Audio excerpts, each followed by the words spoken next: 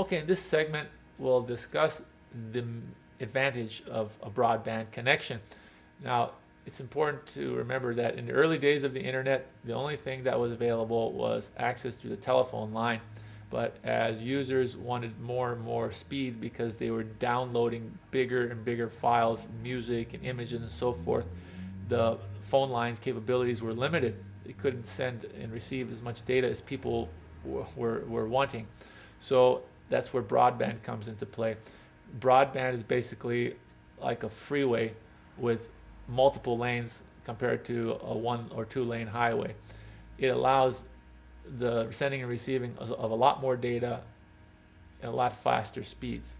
And this is important, especially in businesses where you're going to have many computers hooked up to uh, a network or the internet, and you need to send and receive a lot of data all day long. It's a necessity in, in most businesses to have a broadband connection. And some people, even in their home use, they want to have a broadband connection because they're doing uh, graphic intensive uh, downloading or big files. And, and that's the main advantage of broadband is the increased speed.